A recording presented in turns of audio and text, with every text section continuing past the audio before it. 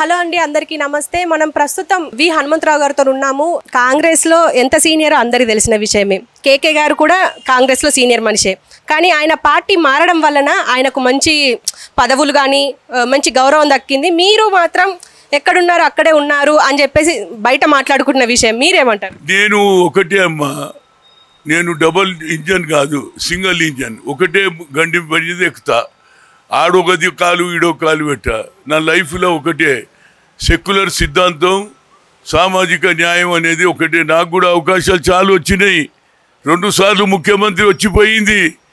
అప్పుడు నా ఒక్క ఏజ్ ఎంత? నలభై ఒక్క ఏంలే అయినా నాకు దక్కలేదు. అయినా నేను బాధపడా. కానీ ఇలా నేను ఖమ్మం ప్రజలకు సేవ చేయాలనేది. ఎందుకంటే రాజీవ్ గాంధీ గారు రెండు సార్లు వచ్చిర్రు ప్రధానమంత్రిగా.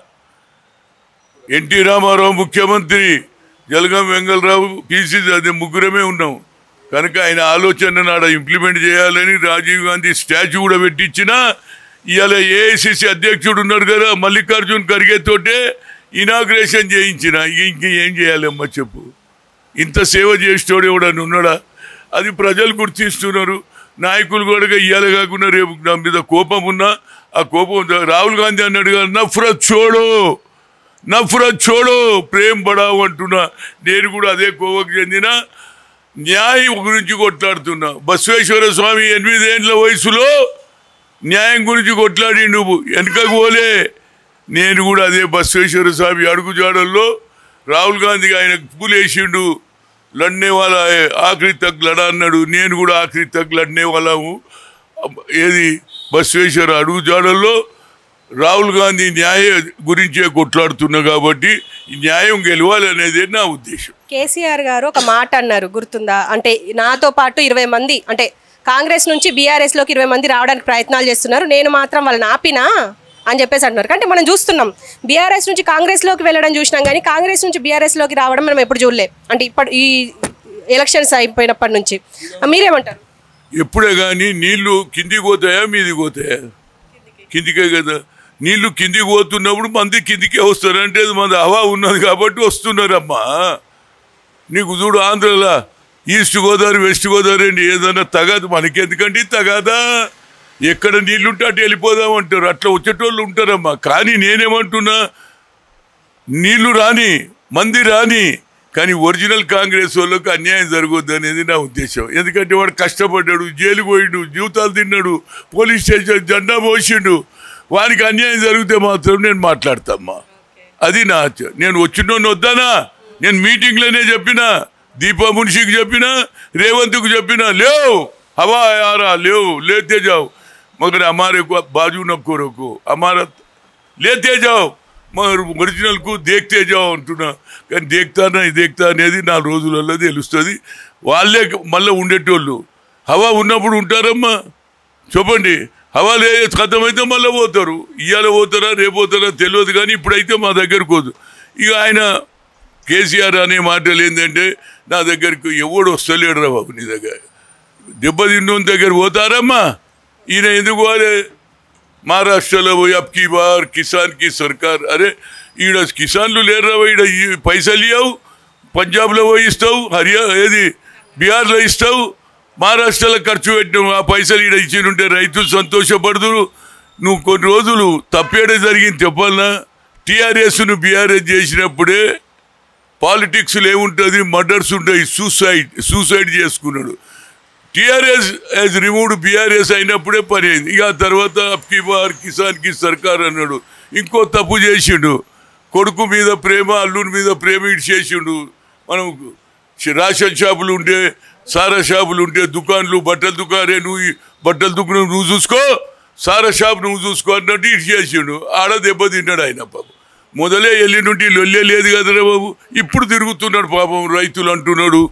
అన్యాయం జరుగుతుంది అంటున్నాడు. మరి మొదలు ఎందుకు అన్యాయం జరగలేదు? నీ నీ పార్టీలో జరిగింది నువ్వు తెలుసుకున్నా? ప్రగతి భవన్ ఎవరి గురించి పెట్టినావు రాబాయ్ ప్రజల గురించి. ఎవరైనా రానిచ్చినావా మా రేవంత్ రెడ్డి రాగానే కంప లింపలన్నీ తీసి ఆ ఆ అంటున్నాడు. అందరు పోతూనే ఉన్నారు.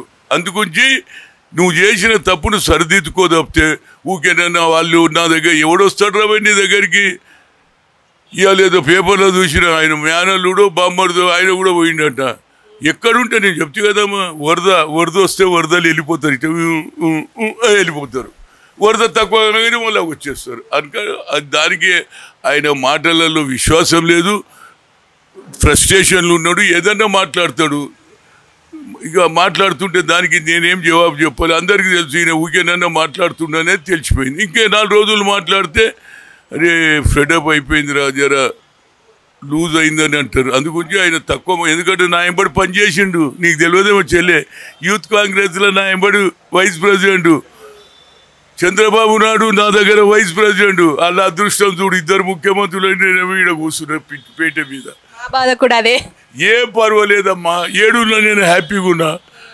డెబ్బై ఐదు ఏళ్ళ వయసులో కూడా వయసు పర్వాలేదు లెక్క ఉరుకుతా ఏడుపోయినా ఇది దేవుడు ఇచ్చిన మహిమ పేదోడు ఇచ్చిన ఆశీర్వాదం అంతే. ఇప్పుడు కేసీఆర్ ఇంకో మాట అన్నారు. ఏంటంటే మాకు టూ థౌజండ్ నైన్టీన్లో వన్ నాట్ ఫైవ్ సీట్లు వస్తేనే మమ్మల్ని బీజేపీ తొక్కాలని ప్రయత్నించింది. మరి ఇప్పుడు అరవై నాలుగు సీట్లు వచ్చిన కాంగ్రెస్ని తొక్కేయదా? ఇప్పుడు పార్లమెంట్ ఎన్నికల తర్వాత ఆ ప్రభుత్వాన్ని అంటే కాంగ్రెస్ ప్రభుత్వాన్ని కూలదోస్తుంది బీజేపీ అని చెప్పేసి ఒక స్టేట్మెంట్ ఇచ్చారు. మీరేమంటారు? అప్పుడు తొక్కినప్పుడు నువ్వు ఏం చేస్తావు? నేను చూస్తాను అంటున్నాను నిజంగానే మా మీద ప్రేమ ఉంటే తొక్కకుండా చూడాలి. ఎందుకంటే మరి నువ్వు కూడా బీజేపీతో చేయగలిపినావని ఉంటే ఆ డేంజర్ మాకు కూడా ఉన్నది మేము మేము చూసుకుంటామమ్మా. మాకు అంత ఈజీ కాదు.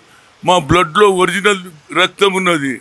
ఒరిజినల్ రక్తం రెండు వెళ్ళిపోతారు. పోతే ఏం లేదు కాదు కానీ అంత ధైర్యం మా దగ్గర చేయదాలు రెండు. ఎందుకంటే మా లీడర్ ఎవరు? రాహుల్ గాంధీ. దమ్మున్నోడు. కనుక అక్కడ ఏలు పెడితే మేము కూడా ఒరిజినల్ కూడా ఏలు పెడతామని తెలుసు. ఎందుకంటే ఆయన చాలా బాగా మాట్లాడుతాడు. నరేంద్ర మోడీ భాష నచ్చాదేత రాషన్ కమ్ కర్దేత ఉన్కా కామీ సార్ ఇంకొక మాట ఏంటంటే మీరు ఒకసారి అన్నారు ఒకవేళ బీఆర్ఎస్ ఓడిపై కాంగ్రెస్ గెలిస్తే నాంపల్లి దర్గా దగ్గర కేసీఆర్ కేటీఆర్ అల్లాకే నామ్సే దేదో బాబా అనే పరిస్థితి ఏర్పడతానంటారా వచ్చిందంటారా లేదమ్మా. నువ్వు తప్పు అర్థం చేసుకున్నావు. నేనేమన్నా మా సోనియా గాంధీ తల్లే తెలంగాణ ఇయ్యకపోయినుంటే ఇద్దరు ఏడ తిరుగుదురు? అల్లాకే నాంపే అని దర్గా కాడ నిలబడుదురు. ఆమె ఇచ్చింది కాబట్టి అది తప్పింది నాంపల్లి దర్గా అని చెప్పిన. నిజంగానే అరే లేకపోతే ఏం చేదురు? సోనియా గాంధీ తెలంగాణ ఇచ్చింది కాబట్టి నేను తెచ్చినా నేను తెచ్చినా అంటుండే. ఇవ్వకపోతే ఏమవుతుండేది ఎవడు మిగిలకపోతురు ఇక తండ్రి కొడుకులు ఇద్దరు దేదే అల్లా కెన్నాంపే దేదే బాబా బాబా బాబా బాబా అందరు. అది పరిస్థితి అంటే మరి ఇప్పుడు మీరు ఇప్పుడు దీక్ష ముగించే లోపల మరి మీకు సీటు ఇచ్చే అవకాశం ఉందంటారా లేదంటారా? ఇది మళ్ళీ మీరు తప్పు క్వశ్చన్ వేసిర్రు. నేను సీటు గురించి కూర్చోలే. మీ- మేం కోరుకుంటున్నది అదే. మేము సీటు పక్కకు సీట్ ఇష్యూస్ డిఫరెంట్ ఈడ నా మీద చెడు ప్రచారం చెడు వైరల్ ఎందుకు చేసిండ్రు దీని వెనకాల ఎన్నుకున్నది సీట్ ఈడేసారో ఇచ్చేటోడు ఢిల్లీలో ఉన్నారు కదా. ఆడపోయి కొట్లాడితే అది వేరు. నా మీద అసాసినేషన్ నా క్యారెక్టర్ అసాసినేషన్ చేసిండ్రు. ఎందుకు? దీని వెనకాల ఉన్న- ఎవరు ఉన్నారని మన ఎవరైతే డీజీపీ ఉన్నారో గుప్తా గారిని కూడా చెప్పిన వాస్తవాలు తెలిస్తే తప్పనిసరిగా దాని మీద కూడా హైకమాండ్కు చెప్పి దాని మీద యాక్షన్ తీసుకోమని పోలీసుకు చెప్పి ఇక ముందు ఇలా ఫేక్ న్యూస్లు పెట్టొద్దు అనేదే నా ఉద్దేశం. ఎప్పటి లోపల అంటే చెప్తా అన్నారా ఎప్పటి లోపల మేము ఈ టైం లోపల మీకు కన్ఫర్మ్ చేసేస్తాం? ఎవరు చెప్పారు ఏంది అని. అసలు ఏదన్నా జల్దీ చెప్తారమ్మా ఇన్వెస్టిగేషన్ అంటారు ఇప్పుడు చూడు పాపం కవిత కవిత కవిత ఇన్ని రోజులు పోయేటప్పుడు రేపే అన్నారు. ఈ లోపల పోతూనే ఉన్నది ఎక్స్టెన్షన్ అయితే ఉంది. పోలీసు వాళ్ళు ఎప్పుడు డేట్ చెప్పరు. ఆయే సాబ్ ఆయియే అంటారు. ఇక వచ్చినాక డేట్ల మీద డేట్లు కోర్టు ఇస్తుంటుంది ఇది ఇక వాళ్ళ చేతిలో ఏది ఉంటే అది చేస్తారమ్మా. పోలీసు వాళ్ళ లెక్క మనం చేయలేము. మనది క్యారెక్టర్ వేరు వాళ్ళ ఆలోచన వేరు వాళ్ళు ఇన్వెస్టిగేషన్ ఇంకా నలుగురిని అడిగేది ఉంది. ఇంక ఇద్దరు దొరకలే ఇద్దరు దుబాయ్లు ఉన్నారు. ఓడు అమెరికాలో ఉన్నాను పట్టుకొచ్చినాక ఇక దుబాయ్కి వెళ్ళి ఎప్పుడు రావాలి అమెరికాకి వెళ్ళి ఎప్పుడు రావాలి? అది వాళ్ళ కేసు మనది అట్లా కాదు. ఇక్కడ ఇది సైబర్ ఫైబర్ కేసు కాబట్టి దొరికిపోతారు అనేది నా ఉద్దేశం.